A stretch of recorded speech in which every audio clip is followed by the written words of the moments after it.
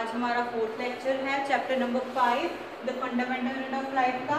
तो हम क्या कर रहे थे? लास्ट लेक्चर में हमने डेफिनेशन डिस्कस की है। कौन कौन सी हमने लास्ट लेक्चर में चार डेफिनेशन डिस्कस की थी? फ़र्स्ट इज़ एटीपी दूसरी कौन सी थी? अमाइनो एसिड्स तीसरी थी बैक्टीरिया और चौथी थी सेंट्रोमियर ठीक है? दोबारा से रिकॉल कर लेते हैं हम। एटीपी क्या है? एडिनोसाइन ट्राइफॉस्फेट इसे बोलते हैं energy currency of the cell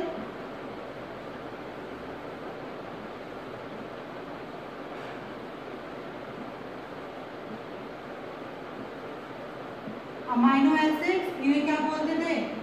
building blocks of protein क्यों बोल रहे थे बिल्डिंग ब्लॉक्स ऑफ़ प्रोटीन क्योंकि ये आपस में जुड़ के क्या बनाते हैं? प्रोटीन्स बनाते हैं।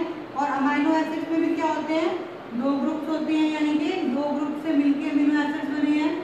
कौन कौन से दो ग्रुप्स हैं? पहला है amino group that is NH3 और दूसरा क्या है? Carboxylic group that is COOH ठीक है? फिर हमने पढ़ा था बैक्टीरिया के बारे में क्या है ये? माइक्रोस्कोपिक है साइज़ में, यानी कि हम इसे बिना माइक्रोस्कोप के नहीं देख सकते। दूसरा था ये प्रोकैरियोटिक है नेचर में। इसका मतलब क्या होता है प्रोकैरियोटिक का? कोई प्रॉपर न्यूक्लियस नहीं है बैक्टीरिया के पास। और तीसरा क्या था? ये है सिंपलर फॉर्म्स हैं। सिंपलर फॉर्म्स हैं, कोई कॉम्प्लेक्सिटी नहीं है सेल के अंदर। और जो सेल ऑर्गन रिलीज़ होती हैं, जो सेल के अंदर ऑर्गन रिलीज़ होती हैं, जो हेल्प करती हैं सेल को फ़ंक्शन परफॉर्म करने में, वो क्या होती हैं? Cell organelles are absent in bacteria ठीक है?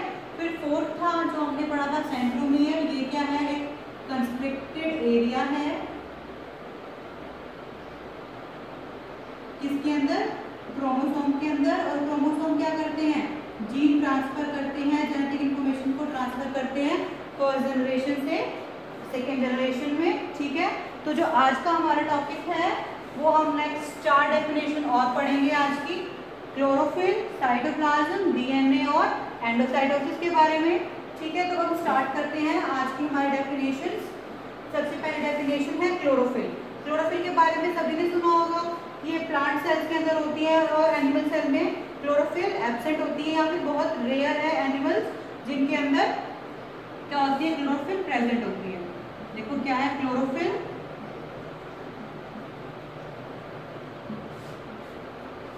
it is a green pigment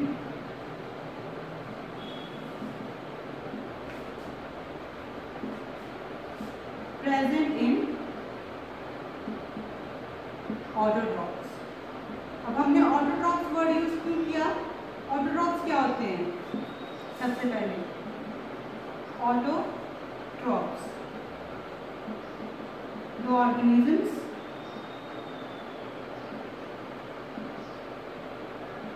which can prepare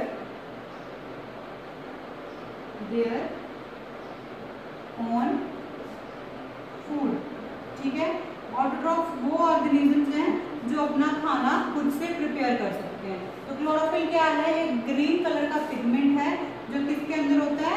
autotrophs के अंदर होता है, या फिर हमें कहना है अभी आपको पढ़ाने के लिए कि प्लांट्स में होता है। ठीक है?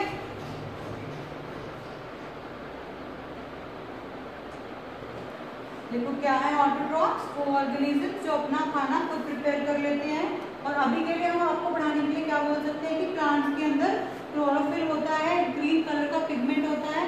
किसके अंदर प्रेजेंट होता है? क्लोरोफिल क्लोरोप्लास्ट के अंदर होता है। ठीक है? और क्या करता है ये? क्लोरोफिल हेल्प करता है। It helps the plant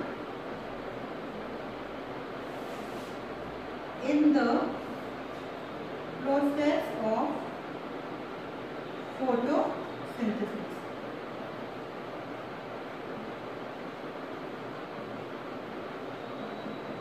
क्या कर रहा है? देखो क्लोरोफिल क्लोरोप्लास्ट के अंदर प्रेजेंट होता है। क्लोरोप्लास्ट एक टाइप का सेल ऑर्गेनली है, जो प्लांट सेल के अंदर होती है। ठीक है? क्या करता है? क्लोरोप्लास्ट एक ग्रीन कलर का पिगमेंट है, जो प्लांट को हेल्प कर रहा है कौन से प्रोसेस के लिए? फोटोसिंथेसिस के लिए। ठीक है? हेल्प कर रहा है वो फोटोसिंथेसिस में। कैसे कर रहा है? वो देखो। It help the plant in the process of photosynthesis by absorbing the sunlight. ठीक है? क्या करेगा क्लोरोफिल एब्जॉर्ब करेगा सनलाइट को। उससे क्या होगा फिर? फोटोसिंथेसिस होगा। सनलाइट की प्रेजेंस में क्या हुआ? सनलाइट की प्रेजेंस में क्लोरोफिल ने सनलाइट को एब्जॉर्ब कर लिया। कार्बन डाइऑक्साइड वाटर के साथ क्या बन गया?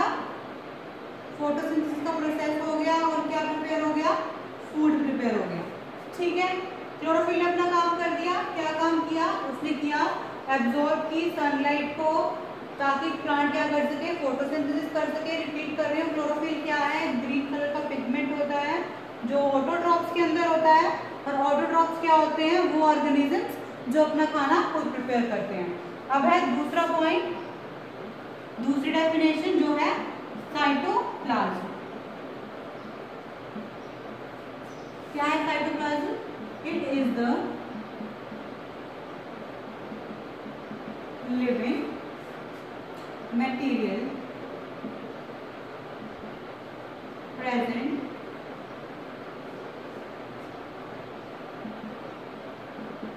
inside the cell except from nucleus. क्या है साइटोप्लाज्म लिविंग मटेरियल है, जो कहाँ प्रेजेंट होता है? सेल के अंदर प्रेजेंट होता है एक्सेप्ट द न्यूक्लियस मतलब न्यूक्लियस के अंदर जो मटेरियल है, उसे काउंट नहीं करते। देखो फॉर एग्जांपल अगर ये एक सेल है, ये न्यूक्लियस है।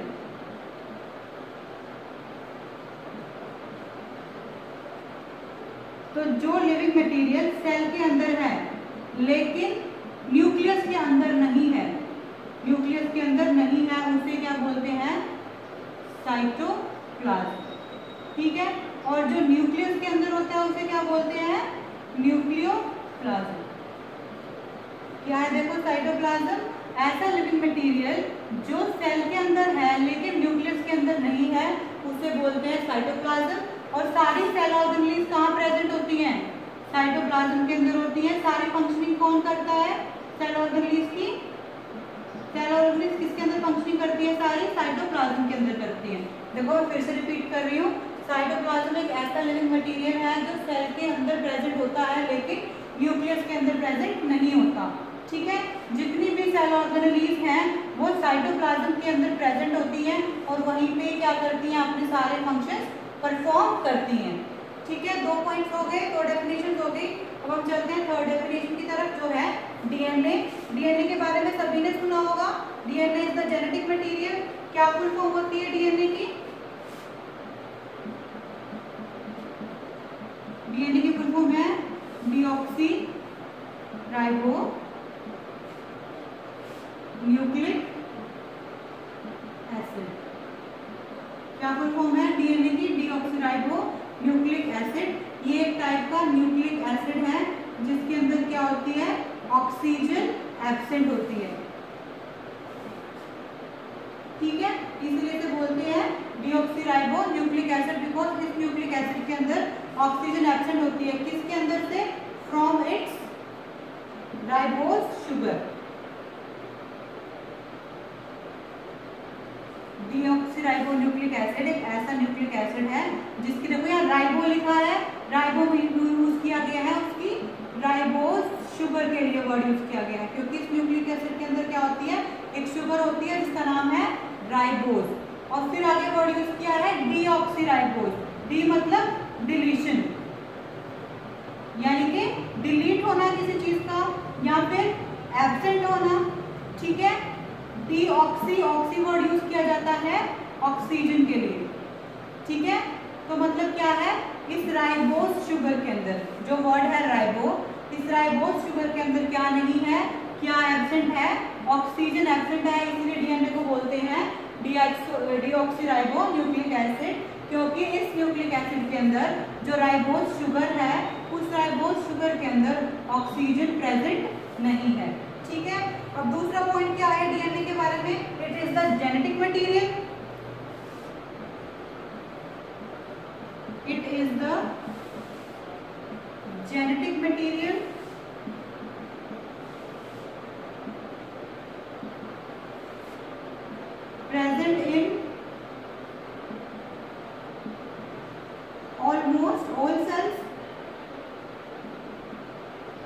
मैं कहते हैं almost all living organisms. Almost word use क्यों किया गया है? बिकॉज़ जो मेजोरिटी है लिविंग ऑर्गेनिजम्स की, उनमें क्या है? डीएनए ही है जेनेटिक मटेरियल अब इसे जेनेटिक मटेरियल क्यों बोलते हैं? Because it transfers the genetic information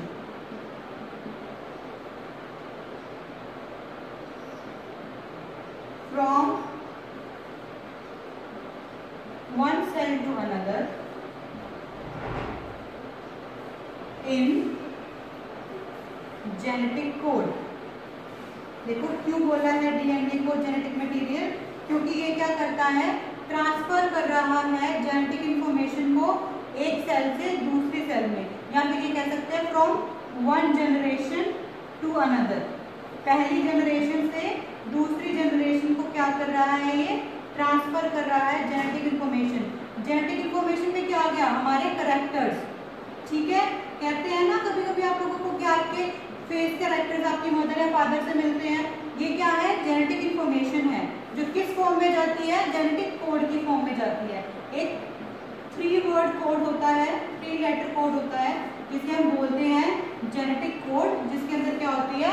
information transfer होती है वन ऑर्गेनिज्म से उसकी नेक्स्ट जनरेशन के अंदर।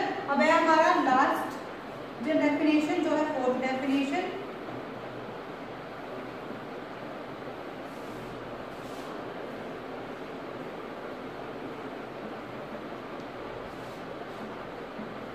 फोर्थ डेफिनेशन कौन सी हमारी? एंडोसाइटोसिस क्या होती है एंडोसाइटोसिस की definition it is the intake of food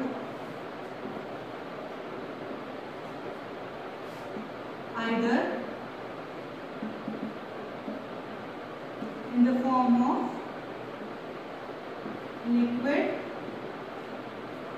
or solid by the cell ये क्या है एंडोसाइटोसिस एक ऐसा प्रोसेस जिसके अंदर जो सेल है फ़ूड इनटेक कर रहा है, चाहे सॉलिड फॉर्म में, चाहे लिक्विड फॉर्म में, ये फर्दर टू टाइप्स में डिवाइडेड है, जो हम अपने नेक्स्ट लेक्चर में पढ़ेंगे। आज हमने सिर्फ़ ये चार डेफिनेशन पढ़ी है क्लोरोफिल साइटोप्लाज्म डीएनए और फिर एंडोसाइटोसिस और एंडोसाइटोसिस की डेफिनेशन हम नेक्स्ट लेक्चर में कंटिन्यू करेंगे।